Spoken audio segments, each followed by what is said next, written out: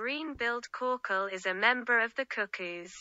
It is endemic to Sri Lanka's wet zone, as the small population declined due to forest destruction and fragmentation. It inhabits the tall rainforests of southwest Sri Lanka and nests in bushes.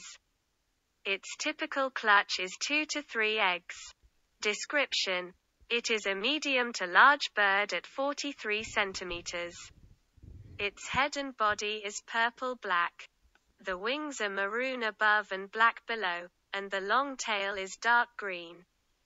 The bill is a distinctive light green. Sexes are similar, but juveniles are duller and streaked.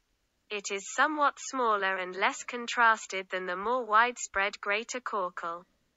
Despite its size and distinctive call, this is a difficult species to see because of the dense habitat in which it lives and its retiring nature. It feeds on a wide range of insects, caterpillars and small vertebrates. But snails are a favorite. In culture, in Sri Lanka, this bird is known as Bata ati kukula or Wal ati kukula in the Sinhala language. This bird appears in a 20 rupee Sri Lankan postal stamp.